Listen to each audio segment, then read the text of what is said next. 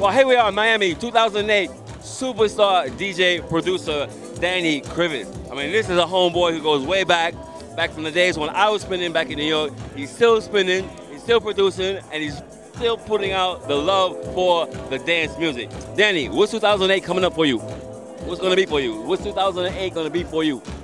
Uh, just working really hard. I mean, uh, I don't know if that's anything new, but uh, working on a lot of things. Yeah?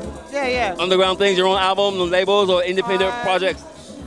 Just a lot of, uh, I mean, similar stuff to what I've been doing. A lot of editing, uh, uh, some compilations. Uh, um, just working hard. Getting married this year. Go ahead, baby. Go ahead. Go ahead. It's gonna probably perhaps Pay for all that stuff. perhaps it's going to change your lifestyle. Now, with the with the electro movement coming up very very strong, you know, we're from the old head, from the old school with the house vocals, soulful vocals, and garage movement.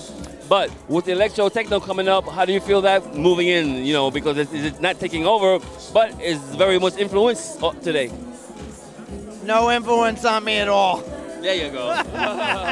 I mean, music is something I feel from my soul. It, it either moves me or it doesn't.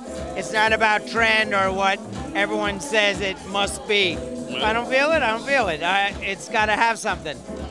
it's got to have something. That's very well indeed. And now in Miami, there's a lot of partying going on, but it's a lot of uh, professional socializing. That way, you know, you're meeting old friends, meeting some new friends, and so that's how it really goes down. It's not all about the party in Miami, is it? No, it's it, you try to get something from everything here. It's a lot of networking, but you're here enjoying it. For me, it's uh, a nice little escape from the cold in New York. You know. This is man. I'm so happy to be standing next to him. We go way, way back. I'm living in Paris, France. He's still in New York from the underground scene and still making noise. Danny Krivitz, baby, big time DJ, big time producer. This is Miami 2008. Yeah. Thank you. Thank you very much, Danny.